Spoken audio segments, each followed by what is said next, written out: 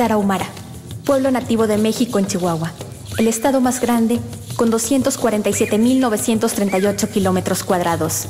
Se autonombran Raramuris, que significa los de pies ligeros, haciendo alusión a su más antigua tradición, el correr.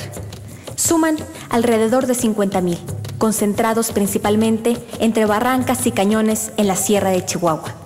Generalmente son delgados, ojos oblicuos, pómulos salientes, cabello negro y liso, piel morena, gruesa y reseca por las extremosas temperaturas a que están expuestos, entre menos 14 y 35 grados centígrados.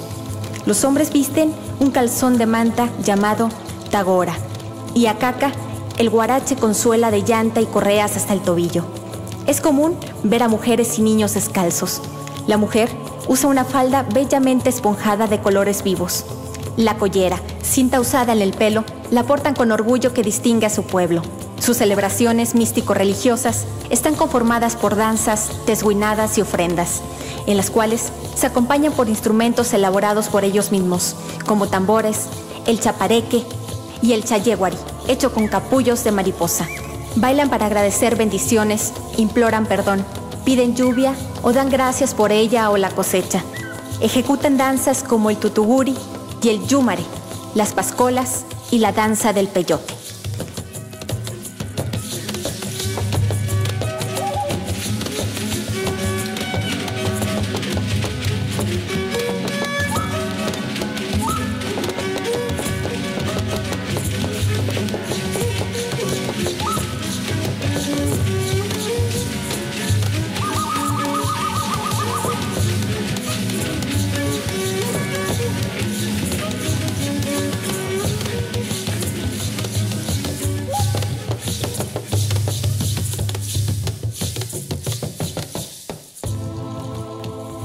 Los tarahumaras valoran más a las personas que a las cosas. Es para ellos primordial el respeto. Han conservado su milenaria cultura con sorprendente tenacidad. Cuentan con un gobierno propio pacifista dentro de las comunidades en las que habitan. Viven en casas de piedra, lodo y madera, o en cuevas en las montañas. No acostumbran las sillas, mesas o camas. El juego de pelota, o rarajipari, es un acto colectivo muy importante para ellos. Con el empeine del pie, lanzan una bola, kamakali, hecha de raíces de encino. Corren detrás de ella por 200 kilómetros hasta dos días. La comunidad los apoya llevándoles agua y pinole, animándoles en la carrera o corriendo junto a ellos. Las mujeres juegan a lanzar dos pequeños aros entrelazados a lo que le llaman roguena.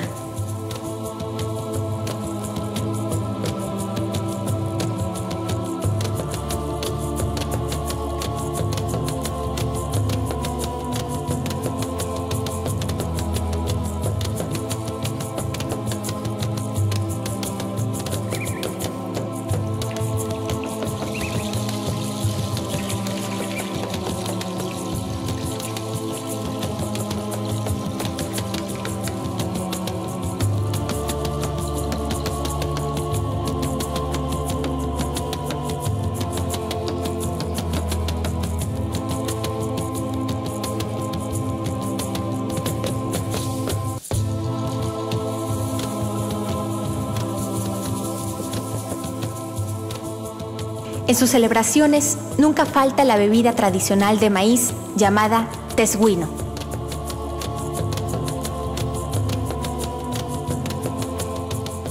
Ardientes noches de tesguinadas,